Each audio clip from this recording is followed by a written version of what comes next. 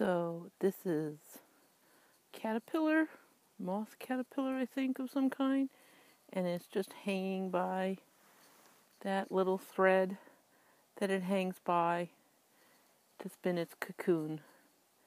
And it's so cool because it's just hanging there in midair. Wow. This is the first time I've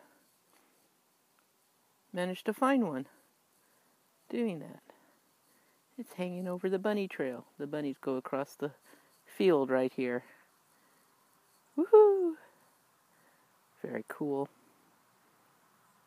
I don't want to disturb it, but I want to get a little closer if I can. Oh, the wind is starting to pick up, so it's starting to wiggle around some more. Or maybe it notices me. Oh, it dropped. No, it's getting. It's still there in the air. Where'd it go? There it is. Yeah, just dropped a little lower. I got too close, I think. Scared it. Okay, there we go.